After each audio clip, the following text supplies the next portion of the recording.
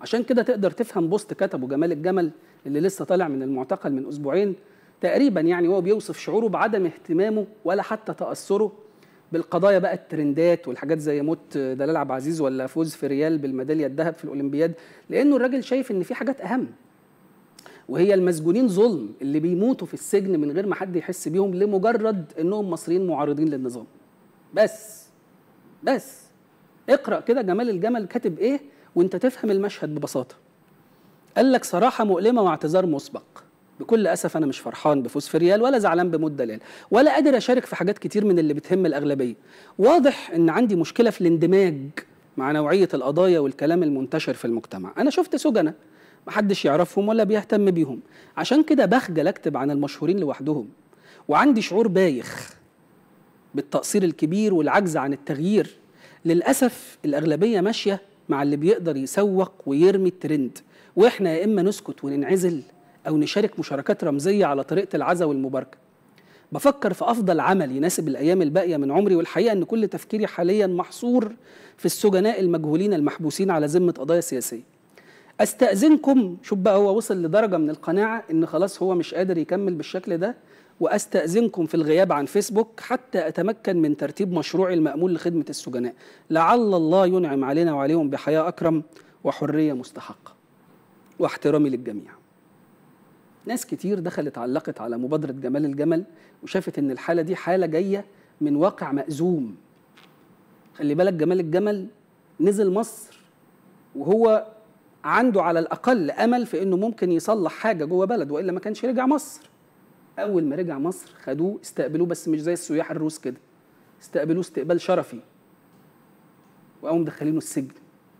فطلع بالتجربة دي قعد كام يوم ولا كام أسبوع جمال الجمل.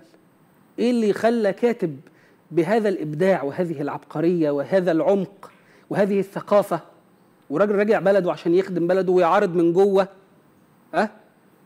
إيه اللي يخليه يطلع بعد أسبوعين ثلاثة حالته كده. إلا إن أنت بتكسره.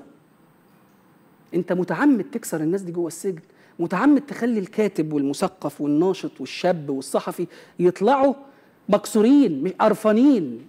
لا عايز يشوف ترند ولا عايز يشوف حاجة. وعمال بيقول لك بص على الناس المساجين.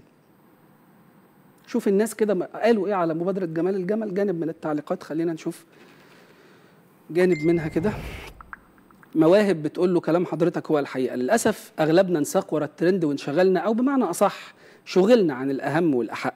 أستاذي أقدم اعتذاري وأسفي على نفسي اللي تاهت في تفاهات الحياة.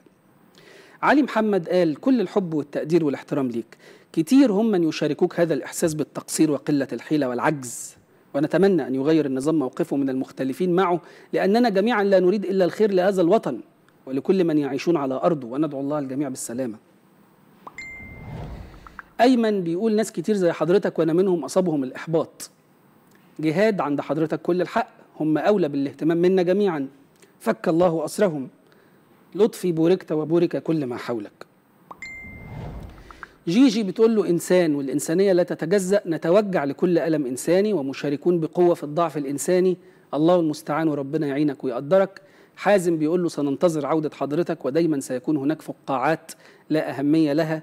لكن تبقى قيمة ما سيقول الأستاذ جمال الجمل وسند بيقول له معاك كل الحق وهو معاه كل الحق بس معاه كتير برضه من الحزن وخلاصة مشهد عبثي بيتم تصديره للمصريين إن افرحوا يا مصريين والدنيا حلوة والدنيا جميلة وفي الآخر أدي المشهد أدي الخلاصة.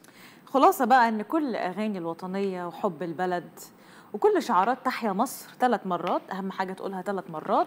وكل البروباجندا اللي بيعملها إعلام النظام كل يوم مش هتغير شعور مصري بياخد تصريح عشان يزور سينا.